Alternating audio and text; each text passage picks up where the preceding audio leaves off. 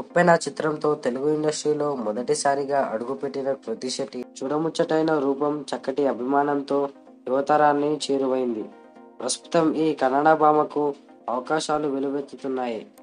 తెలుగులో ఇప్పటికే నాని రామ్ సరసన హీరోయిన్గా నటిస్తున్న ఈ సొగసారి మరో బంపర్ ఆఫర్ దక్కించుకుంది. నితిన్తో జోడీగా కృతి శెట్టి ఓ సినిమాలో నటించనున్నట్లు తెలుస్తుంది. వివరాల్లోకి వెళ్తే నూతన దర్శకుడు శేఖర్ దర్శకత్వంలో నితిన్ ఓ సినిమా చేయబోతున్నాడు. ప్రస్తుతం పూర్వ నిర్మాణ పనులు జరుగుతున్నాయి. త్వరలో షూటింగ్ మొదలు కానున్నట్లు సమాచారం. ఇందులో కృతి శెట్టిని హీరోయిన్గా ఎంపిక చేశారని తెలిసింది.